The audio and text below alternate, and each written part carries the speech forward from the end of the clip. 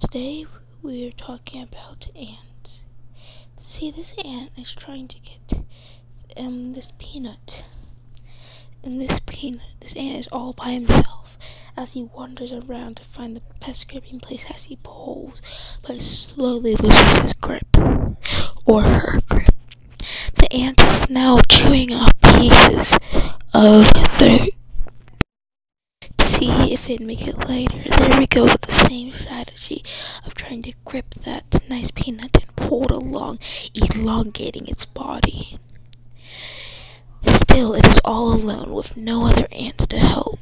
As we know, ants can only lift a limited amount. Even though they might be so strong, doesn't mean this peanut is so easy to carry by itself. As it waits for more help, it still continues to pull as far and far as possible. Oh, look at this! Another ant trying to get a piece of cracker. This may be lighter, but to them it isn't.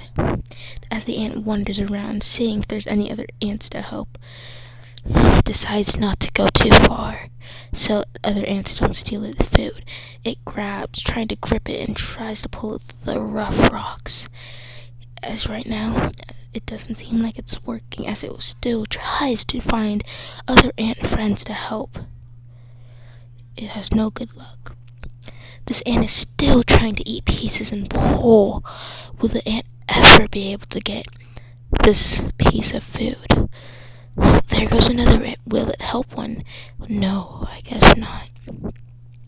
Well, poor ant. I hope he soon finds somebody to get, as to get help. And it doesn't seem like the ant was any near anywhere near. This ant will hopefully soon get some help. But as it waits, it must eat little pieces off of it to make it lighter and smaller. But when it thinks like it's good, it goes back to pulling and pulling and pulling.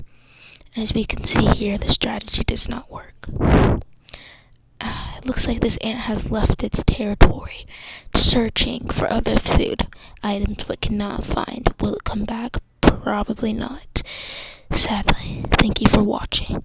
This video was not for any educational use. Do not listen to anything I said. Goodbye.